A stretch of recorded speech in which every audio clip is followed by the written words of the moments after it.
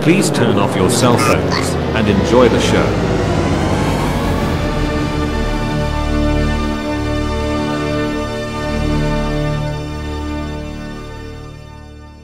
Greetings movie makers, this is Cinematic Productions tutorial number 33. Today's tutorial is, how to puppeteer any model. Sorry I have not made any tutorials in a while, I was making a new channel for 2D animations. Channel link is in the description, if you want to check it out. Let's start off with the basics. The first thing you're gonna want to do is, step 1. Make sure to position your character as the same pose.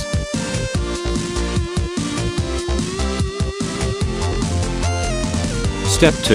This is for an example. Be sure to select the master's bone you want to constrain.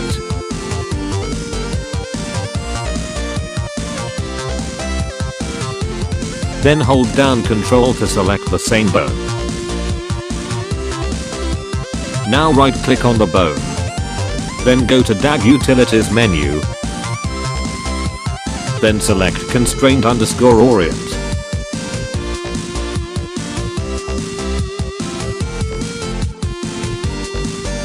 As you can see here, once I move the master's head, the other model moves along with it.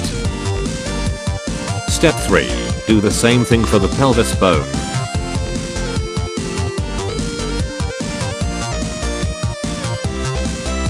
But this time, make sure it is both, constraint underscore orient and constraint underscore point. That way you can rotate and position it.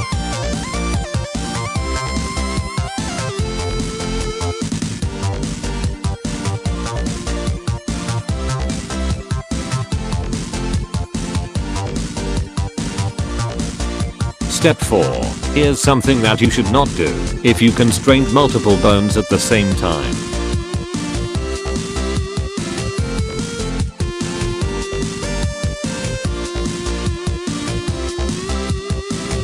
Then the result is, the model would not move at all with the master, or trying to do something weird. So you might have to do it one at a time. Not the fastest way to do it, but it is worth it. Step 5. Be sure to always double check your movements of the bones.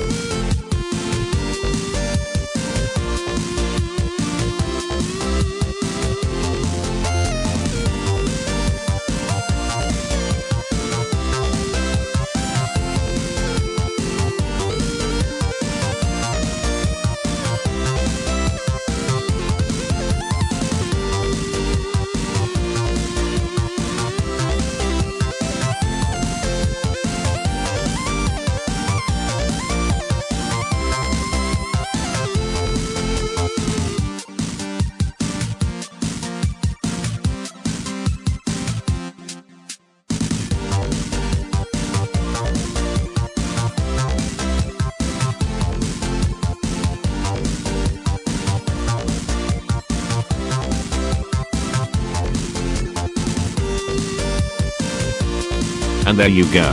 There's no need to have the script if you're trying to animate custom models. Hopefully this tutorial help you out on how to begin with your SFM project. Sooner or later I'll be teaching you some more tips and tricks on your SFM project. Subscribe and leave a like and I will see you next time.